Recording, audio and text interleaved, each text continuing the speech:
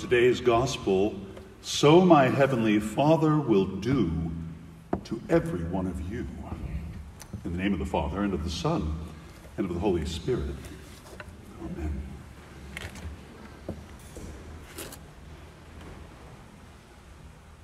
So my heavenly Father will do to every one of you, but what is he going to do? What is God going to do with us when we die? Isn't that one of the underlying questions that we all have, even if we don't express it? Isn't that something that, at least subconsciously, every person of faith, every person who even suspects that a God exists, worries about? What happens when I die? And if there's a God, is he going to treat me well or badly? Is he going to forgive me or condemn me? We'll hold on to that thought. Put it aside for a moment. And I'd ask you to imagine something for me or remember something with me. Something that's very personal to you. And it may be painful. I want you to call to mind someone who has really wronged you.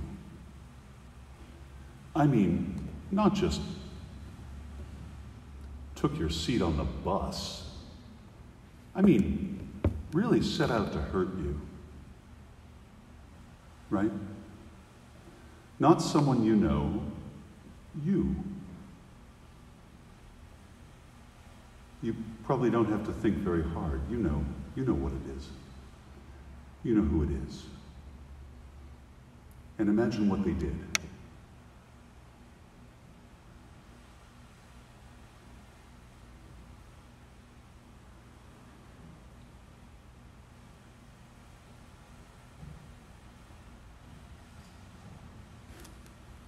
We spend a lot of time in this life thinking and wondering what God is going to do with us when we die.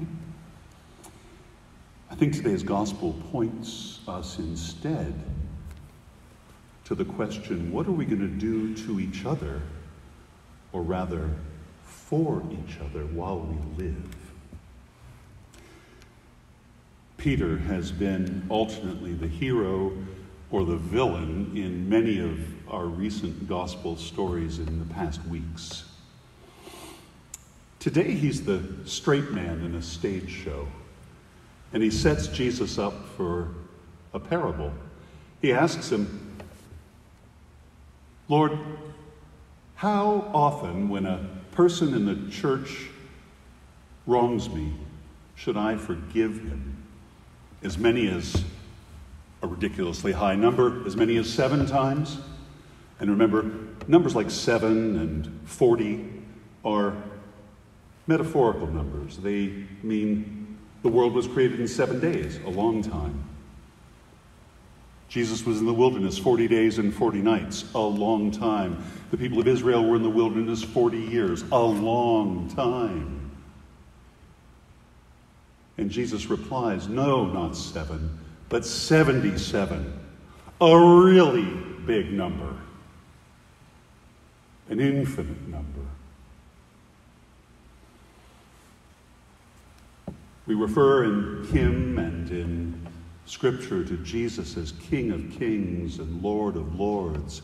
I would put to you, he is also King of metaphor and Lord of hyperbole. Jesus is always overstating it. And he frequently does so in his parables. Remember, a parable is a story that answers one question what is the kingdom of God like?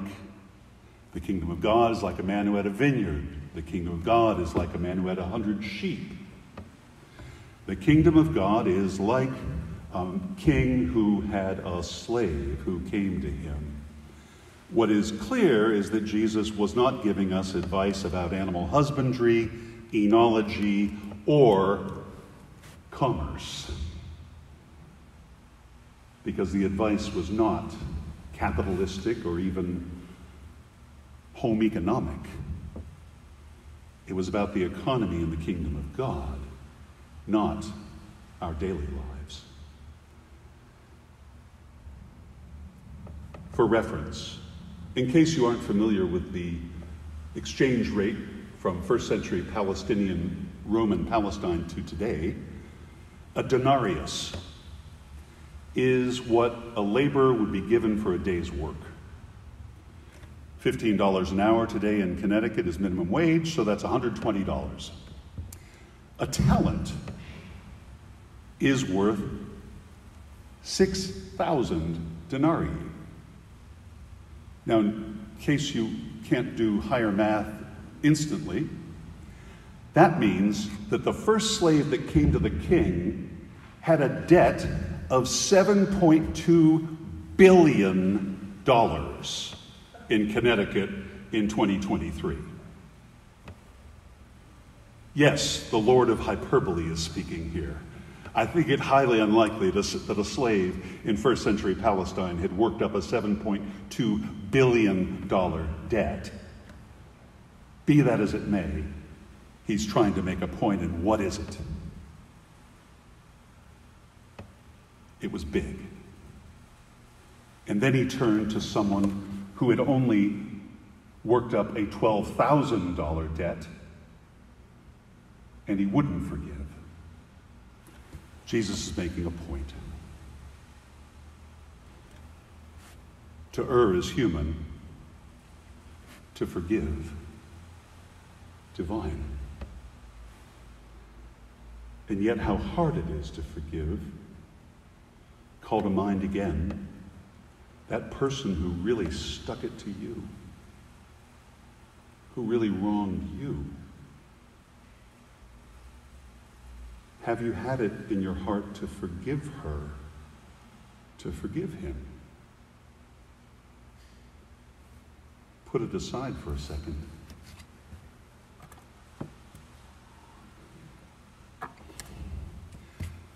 I'll share from my own experience. When I first came to New York City as a 20 something year old seminarian, and I had a beagle I've always had beagles.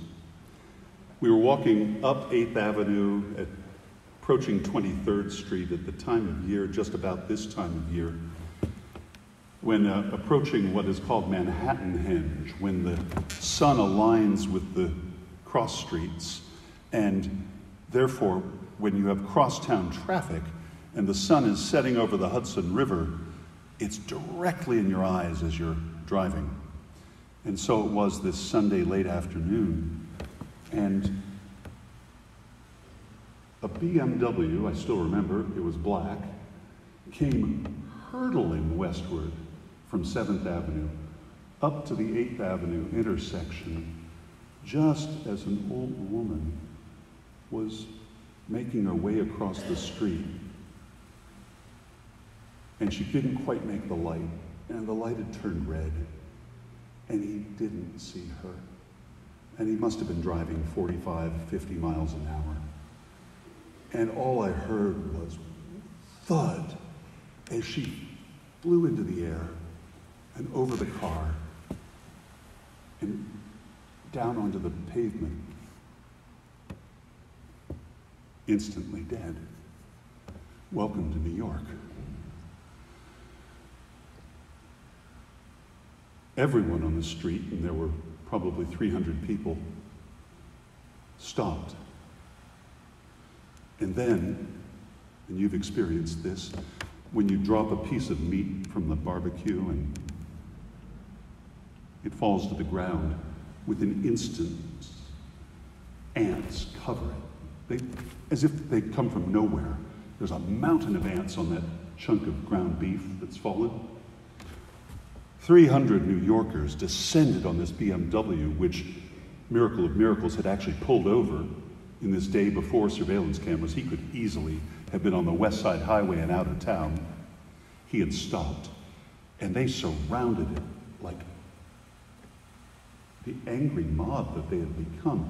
Clearly, this man had killed this woman, and they were going to make sure he didn't get away I was new to New York. I didn't know how things were handled. This was before things got better in New York, I thought I was about to witness a second death, and my dog and I kept our distance. The police arrived. The man unlocked his doors, got out with them, and the crowd dissipated. The ambulance attended to the woman's body, and the man sat down on the curb. And a few of the crowd stayed around to make sure he didn't go anywhere. Well, I didn't know what to do. But I asked myself, in this new position of seminarian, someone studying to be a priest, what, what am I supposed to do here? I had the same anger as the crowd toward the man. But what, what could I possibly do? The, the woman was dead. And the image from Scripture in my mind was let the dead bury the dead, attend to the living. So I sat down next to the man on the curb. This is not Ian the hero. This is Ian, what can I possibly do here? I thought, he's in agony. He's condemned himself. He doesn't need any more condemnation. He needs someone's presence next to him. So I sat next to him, not to absolve him, but to be present with him. And then my dog, after about five minutes, started to lick his hand. And he burst into tears. And I gave him my card. And I said, if I can do anything. And I left him. People have been out to get me from time to time. I'm not paranoid. Sometimes they are out to get you. And it was just a year ago, there was someone in a former congregation that was out to actually do me harm. And I'd just been called to a, another church called St. Michael's a year ago. And I went off on retreat to, St., to Holy Cross Monastery, happy that I'd been called to a new church and didn't have to hang around the woman who was out to get me. And yet, I wanted to come to Litchfield, but Litchfield hadn't called. And I sat there in my cell at Holy Cross, and all I could do was imagine revenge scenarios against the woman who was out to get me. Well, I'm happy now, I'm going to leave, and boy, what am I going to say to her? I'm really going to stick it to her. I'm really going to get my own back. I'm really going to I'm really gonna, I'm really gonna sin. And I was up at 3 a.m. figuring out how I could sin. And I said, What's wrong with this picture? A lot. And I prayed over and over again with this Orthodox rosary Lord Jesus Christ, Son of God, have mercy on me, a sinner. Lord Jesus Christ, Son of God, have mercy on a sinner, and he wouldn't have mercy on me because I was still sinning, even as I was asking for mercy. And finally, I, I threw that away, and I said, I give up. I forgive her. And I fell asleep. And that Sunday, Litchfield called and said, Come be our priest. Forgiveness isn't what we do to people who don't deserve it. It's what we do because God does it to us. It's what we do because forgiveness is the human expression of divine love. We do it because we breathe. We do it because we are created in God's image, and God's very breath is forgiveness of his people. When we have the opportunity to forgive, we have the obligation to forgive. Yes, it's difficult. Anything worth doing is. And yet, I know from personal experience, as you do, if we don't forgive, we live our lives as bitter, twisted, angry people. And the moment we let go, we let God enter our lives. We let Him take over, and joy is possible.